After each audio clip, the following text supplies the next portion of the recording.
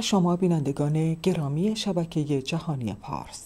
من لیلا هاشمیان هستم و در این ساعت با خبرهایی از ایران و سایر نقاط جهان در خدمت شما عزیزان خواهم بود. نخست مرور خواهیم داشت بر خلاصه ای از مهمترین خبرها.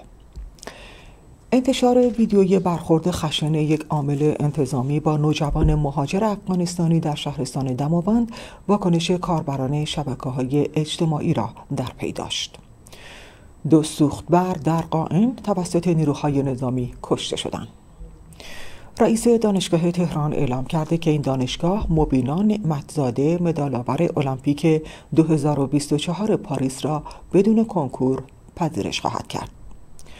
پولیتیکو گزارش داد که جمهوری اسلامی ممکن است در مورد حمله تلافی جویانه به اسرائیل در پی ترور اسماعیل هنیه تجدید نظر کرده باشد. آمریکا برای اطلاعات مربوط به مقامات ارشد فرماندهی سایبری سپاه ده میلیون دلار جایزه تعیین کرده است. یک قهرمان شطرنج روس رقیبش را مسموم کرد. ناهید کیانی کار ایرانی در مساف با کیمیا علیزاده از بلغارستان با نتیجه دو بر یک به پیروزی رسید. و توطعه تروریستی داعش برای حمله به کنسرت تیلر سویفت در وین خونسا شد.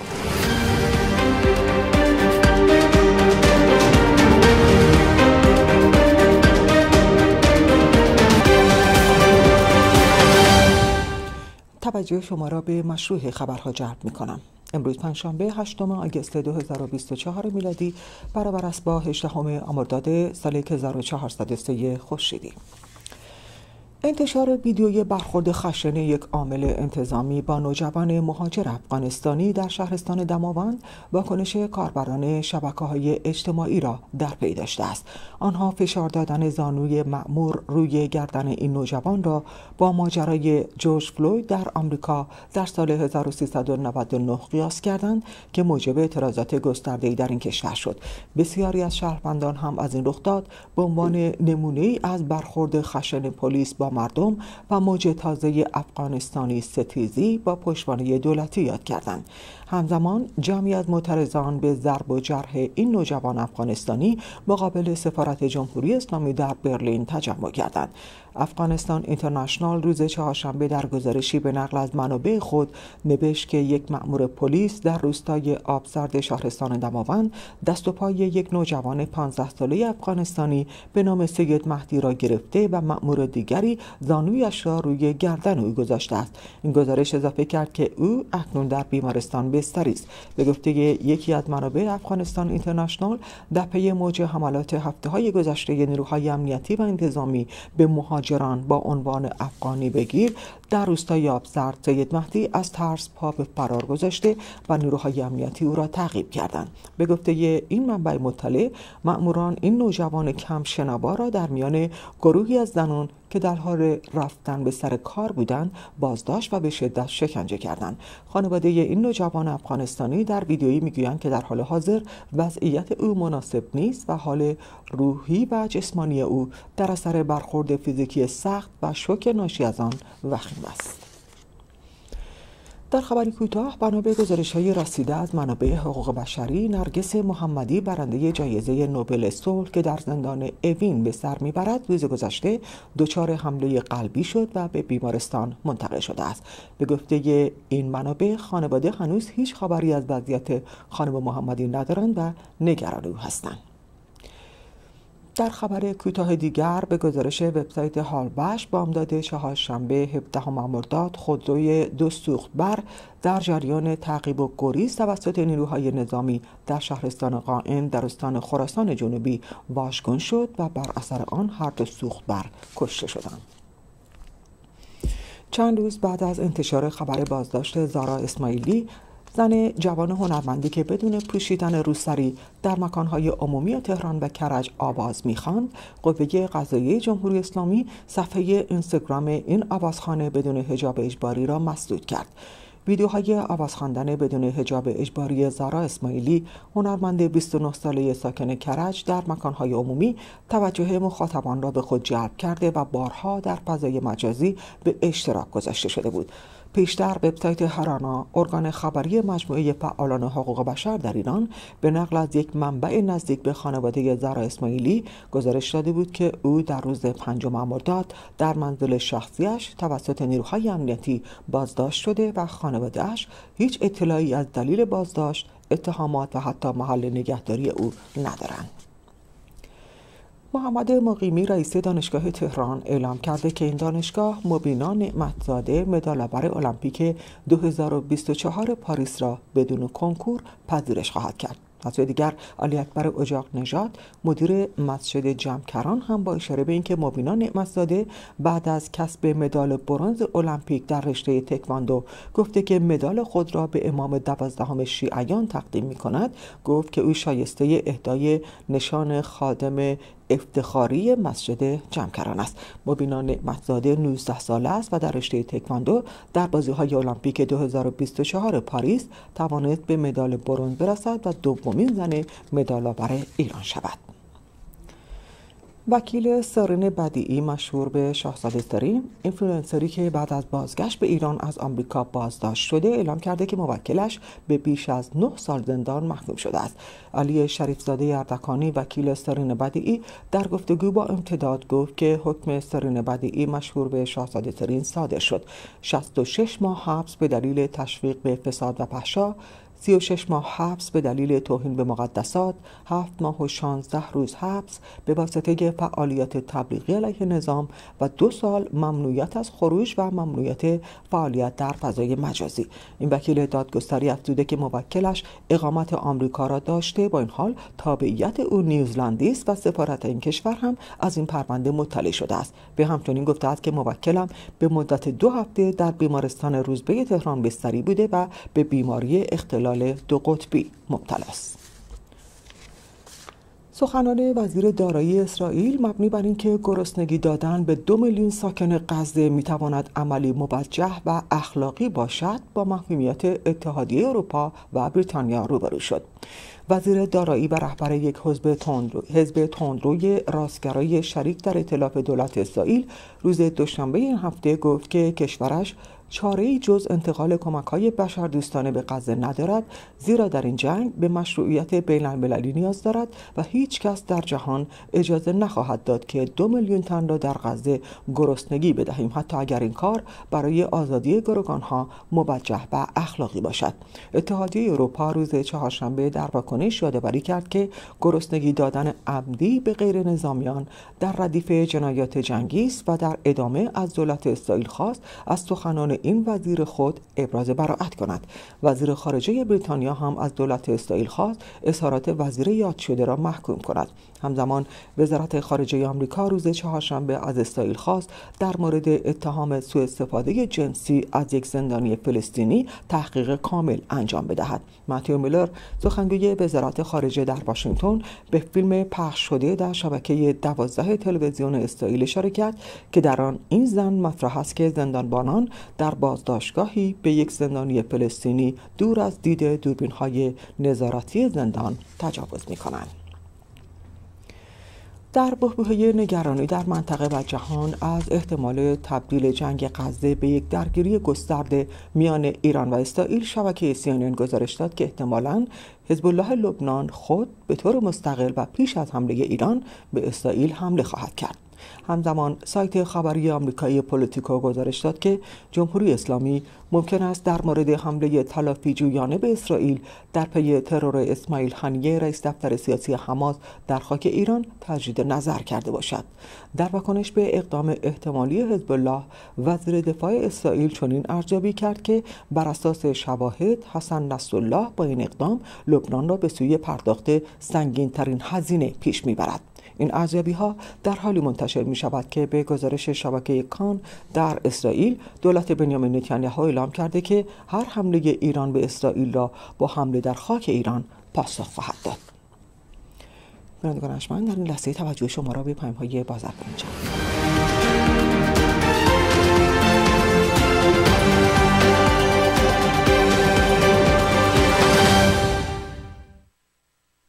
سرشناسترین وکیل جامعه ایرانی دکتر کامران یدیدی تصادفات اتومبیل موتورسیکلت صدمات بدنی حمله حیوانات زمین خوردگی. در امور تصادفات و صدمات شدید بدنی کادر قدرتمند ما برگ برنده شما بر ضد شرکت های بیمه خواهد بود. فقط و فقط یک نام دکتر کامران یدیدی. 818 999 99 99 معتبر برا. جواهری پارس با مدیریت مسعود افلاتونی شنبه ها ساعت 13 به وقت لس آنجلس. 818 377 31 818 344 50 50 از شبکه جهانی تلویزیون پارس.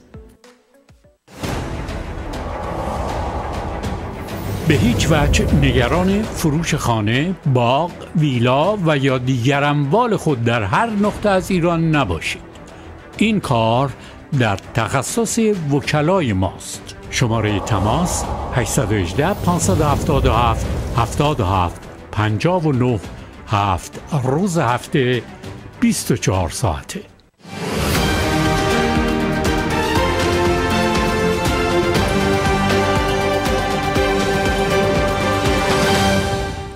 شما را به ادامه خبرها جلب می کنم. برنامه موسوم به پاداش عدالت در وزارت خارجه آمریکا با انتشار تصاویری از شش مقام ارشد مرکز فرماندهی سپاه سایبری انقلاب اسلامی ده میلیون دلار جایزه برای هر گونه اطلاعاتی که منجر به تعیین محل و افشای هویت این افراد شود تعیین کرده است حمید لشکریان رئیس فرماندهی سایبری الکترونیکی سپاه و از اعضای نیروی قدس سپاه حمید همایونپال مهدی لشکریان میلاد منصوری محمد امین صابریان و محمد باقر شیرینکار که همه از اعضای ارشد فرماندهی سایبری الکترونیکی سپاه پاسداران انقلاب اسلامی ایران هستند در این فهرست قرار دارند این ششتن در بهمن ماه سال گذشته هم توسط وزارت دارایی آمریکا به دلیل فعالیت‌های خرابکارانه سایبری در فهرست تحریم های آمریکا قرار گرفتند. جو بایدن رئیس جمهوری ایالات متحده در نخستین مصاحبه خود بعد از کنارگیری از رقابت با دونالد ترامپ در انتخابات ریاست جمهوری آمریکا همچون گذشته نامزد جمهوری خواهان را به باد انتقاد گرفته است. بایدن در گفتگو با شبکه CBS News می‌گوید منظور او یعنی ترامپ از حرفهایش کاملا روشن است و همان چیزی است که می‌گوید ولی ما جدی نمی‌گیریم. فراموش نکنید که خودش گفته که اگر در انتخابات ببازد حمام خون به راه میافتد. اشاره بایدن به سخنرانی دونالد ترامپ در اوایل سال جاری است که در جمع حامیان خود گفت اگر سیاست های دموکرات ها در بخش صنعت خودسازی ادامه یابد کشور با یک حمام خون اقتصادی روبرو می شود اظهاراتی که سپس با تدوین ویژه‌ای در شبکه های اجتماعی همرسانی شد و اینگونه القا کرد که او گفته در صورت پیروزی دموکرات ها حمام خون در آمریکا به راه میافتد. رئیس جمهوری ایالات متحده تاکید می کند که به هیچ وجه مطمئن نیست که اگر دونالد ترامپ در انتخابات شکست بخورد تن به انتقال مسالمت آمیز قدرت بدهد. در پی ادامه حملات نادر بارومرزی نیروهای اوکراینی در روز چهارشنبه وضعیت فوقالعاده در منطقه کورس روسیه اعلام شد. الکسی اسمرنوف سرپرست فرمانداری منطقه گفته است که این اقدام برای از بین بردن پیامدهای ورود نیروهای دشمن به منطقه ضروری است. مقامات روسی گفتند که از آغاز حمله اوکراین دست کم پنج غیر نظامی کشته و سی و یک تن زخمی شدند که شش تن از آنها کودک هستند. اوکراین تا کنون رسما در این خصوص اظهار نظری نکرده و عمق حملات صورت گرفته همچنان نامشخص است. ناسا اداره کل هوانوردی و فضا در آمریکا اعلام کرده که دو فضانوردی که در ماه جون برای مأموریتی هشت روزه به فضا فرستاده شده بودند به دلیل مشکلات فنی احتمالا تا سال آینده در ایستگاه فضایی بین المللی باقی خواهند ماند. خبرگزاری رویترز گزارش داد که بوش ولمور و سونیتا ویلیامز که نخستین فضانوردانی بودند که با کپسول ستارلاینر ساخت شرکت بوئینگ به فضا پرتاب شدن در پی مشکلات فنی پیش آمده برای این کپسول در ایستگاه فضایی بین المللی گرفتار شدند و اگر استارلاینر همچنان برای بازگشت به زمین مناسب نباشد آنها در فوریه سال 2025 و با کپسول دراگن شرکت اسپیس اکس به زمین باز میگردند.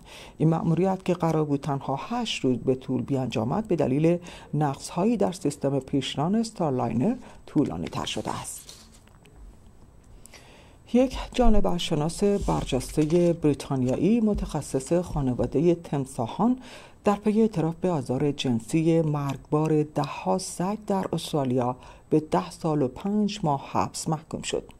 این پرونده موج شوک و وحشت این ببخشید این پرونده موجب شوک و وحشت در سراسر این کشور شده است.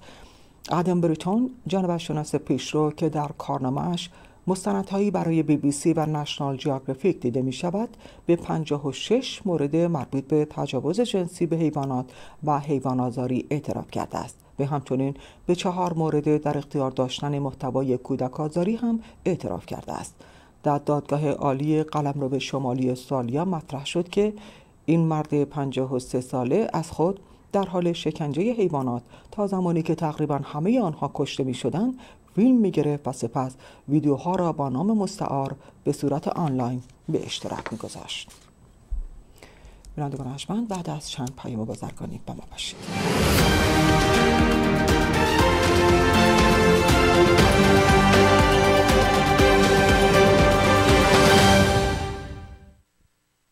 with Sam. I think it was the best decision I ever made. He really helped me out, and he has really helped me out. So he's not too busy for me. He even gave me his cell number. دفاتر سامان هیدری وکیل تصادفات در دو ایالت کالیفرنیا و لاس وگاس My experience with calling Sam was very helpful because they're excellent. 818 818 07 07 Him uh, and his entire team is very professional. Um, he leads a good group of people here, and I felt really safe and at home with them. He was very efficient in handling my case, and I would definitely recommend anyone for an injury of of uh, any kind to to offer their assistance. HeyDaddyLawGroup.com Westside Medical Pharmacy در 11 968 Wilshire بولوار در خدمت جامعه ایرانی. داروخانه Westside Medical به مدیریت دکتر سویل کاتوزی با همکاری تکنیسیان های مجرب و ارائه واکسن های روز. تحویل رایگان دارو به منازل شما در همه مناطق به خصوص بورلی هیلز، Valley، West LA و سانتا مونیکا. دوشنبه تا جمعه ده صبح تا پنج بعد از ظهر. تلفن 310 441 1200 داروهای گیاهی دکتر سهراب خوشبین نیز در وست ساید مدیکال فارمسی موجود است. به به هیچی مثل دوغ بیبلوس نمیشه. یادتونه قدیما می‌رفتیم لب چشمه درکه دربند چلو کباب سفارش می‌دادیم؟ غذا به همون نمیچسبید تا اون دوغ محلی و طبیعی رو مینوشیدیم الانم تنها دوغی که کاملا به یاد دوغای خونگی خودمون میندازه دوغ بیبلوسه سالم کاملا طبیعی. خوشتم. تهیه شده از ماست و شیر بدون هورمون و مواد افزودنی. امتحان کنین. خودتون تایید خواهید کرد که هیچ چیزی مثل دوغ بیبلوس نمیشه. ایرانیان عزیز ساکن آمریکا و کانادا برای رفع مشکلات حقوقی شما در ایران با منوچهر معتمر مشکل حقوقی شما حل شدنی است. فروش املاک شما در ایران. جهت ایرانیان خارج از کشور. عقص اجازه افک پیش از فروش املاک. انجام کلیه امور حقوقی مربوط به دادگاه های حقوقی و تجدید نظر در دیوان عالی کشور. دریافت شناسنامه، گذرنامه، تنظیم وکالتنامه، اعم از کاری و فروش، ثبت رسمی ازدواج و طلاق شرعی با منوچهر معتمر. مشکل حقوقی شما در ایران حل شدنی است. تلفن 949 202 72 88 خوشبختانه همه چی قانونا درست شد.